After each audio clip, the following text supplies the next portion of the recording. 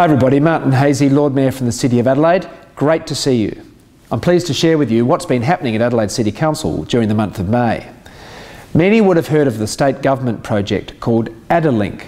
Now, Adelink is the study which is being led by Minister Stephen Mullighan to look at the benefits of expanding the light rail network, the tram network, around the City of Adelaide and inner metropolitan Adelaide.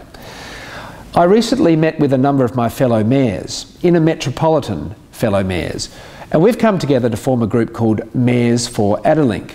And many of the inner metropolitan councils, including Adelaide City Council, have recently passed a motion through our council chambers in support of this Adelink project. Now, what we're looking at together is what are the transport benefits, what are the social benefits, what are the economic benefits, and what are the potential environmental benefits of extending the tram network throughout the City of Adelaide and in a Metro Adelaide. There's a great deal of work to be done. It is certainly early days on this project. However, the mayors are all committed towards examining what are the potential benefits for their local government areas, for their communities. And on the surface of things, there does seem to be quite an amount of considerable support. But we will work with the government and we'll work on the Adelink project together, and I look forward to reporting back to you in due course.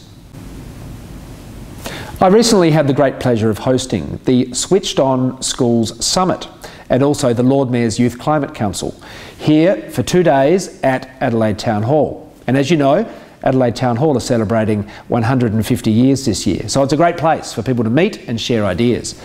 We had 100 school students from the City of Adelaide and Metropolitan Adelaide join us here at Town Hall to have a terrific and engaged debate about the climate, adaptation, mitigation and all things sustainability. As you know, the City of Adelaide has a goal that by 2025 we want to be the world's first carbon neutral city, if not sooner. And our school community, our university communities, and all facets of our community are very engaged in assisting us with this goal. So I must say, thank you to the school students. It was wonderful to listen to everybody's views about what sustainability means to them. Recently in the Adelaide City Council chamber, we received a number of deputations from members of the public, business people, cultural people, musicians.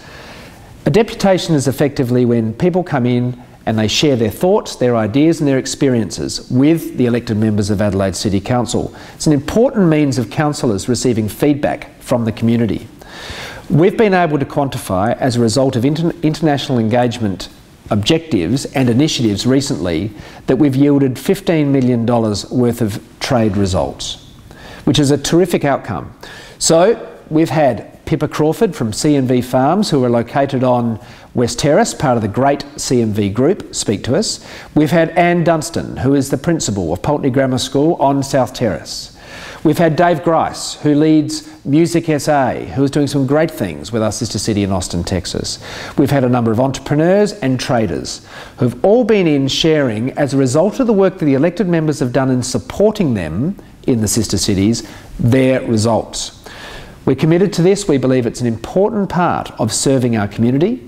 We believe it's also an important part of realising the City of Adelaide's goal of becoming a truly international city.